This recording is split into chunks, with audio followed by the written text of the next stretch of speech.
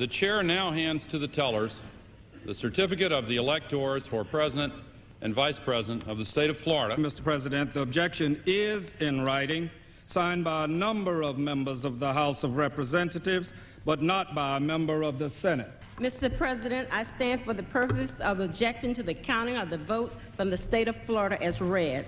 Mr. President, I rise on, rise on behalf of the Congressional Black Caucus to object to the 25 electoral votes from Florida. Mr. President, thank you for your inquiry. It is in writing. It is signed by myself on behalf of my diverse constituents and the millions of Americans who have been disenfranchised by Florida's inaccurate vote count. The, is the objection signed by a senator? Well, Mr. Chair, Mr. President, I am objecting to uh, uh, to the idea that votes in Florida were not counted. The clerk will report the objection. We, a member of the House of Representatives and a United States Senator, object to the counting of the electoral votes of the state of Ohio on the ground that they were not, under all of the known circumstances, regularly given.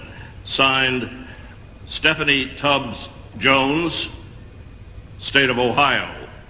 Barbara Boxer, State of California.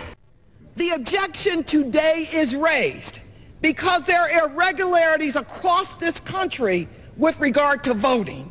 And we as a Congress have an obligation to step up to the plate and correct them. Mr. Speaker and members, I dedicate my objection to Ohio's electoral votes to Mr. Michael Moore, the producer of the documentary 9-11. First of all, we're here because not a single election official in Ohio has given us any explanation for the massive and widespread irregularity in the, in the state. No explanation for the machines in Mahoning County that recorded Kerry votes for Bush.